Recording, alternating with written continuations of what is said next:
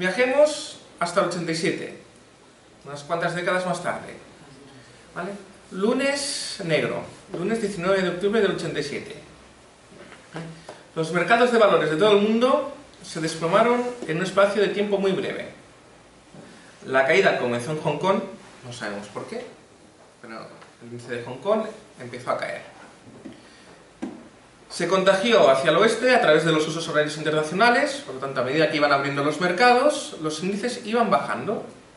Llega a Europa, como no, y por último, a Estados Unidos, que seguramente alguien ya había dicho, oye, cuidado, que están bajando las cosas, y no pudieron evitarlo. Entonces llega la parte bonita del análisis financiero. ¿Y esto por qué ha pasado? Algo que ha pasado en Hong Kong se ha transmitido a Europa, a Estados Unidos, y tenemos una caída incluso mayor que la del 29. Causa sobrevaloración, es decir, activos mal valorados, falta de liquidez, ¿eh? quiero mi dinero, quiero mi dinero, quiero mi dinero, su dinero no está, porque, todo el mundo pide dinero, no es, vais todos al banco a la vez y pedís vuestro dinero, tranquilos, el banco no tendrá dinero. En la caja solo se guarda una, una parte muy pequeña de lo que tienen los inversores.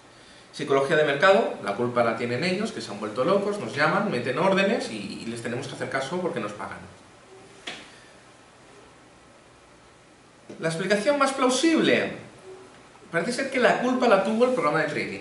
En el 29 estábamos haciendo las operaciones, pues eh, viva voz, llamo por teléfono, más por mercado de valores, y le digo al señor, véndame porque estoy, no, no lo soporto, tengo miedo, bueno, no me interesa, venda me da igual, que sea difícil, venda a cualquier precio.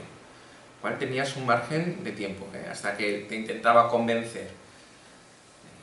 Y al final decía, bueno, pues meto la orden y tal y tal, pasaba pues, un lapso de tiempo.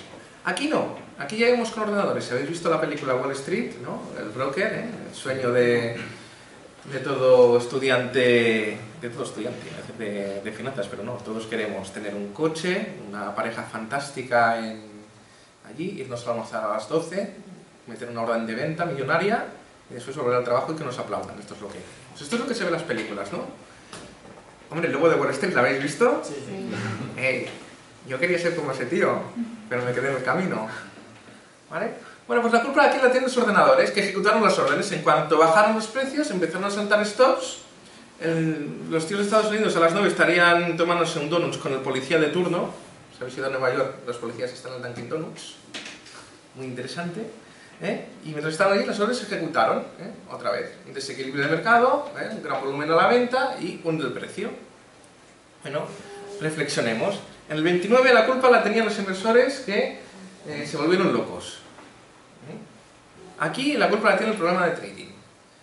Y una llamada a la reflexión. No estaremos midiendo mal el riesgo, no estaremos subestimándolo,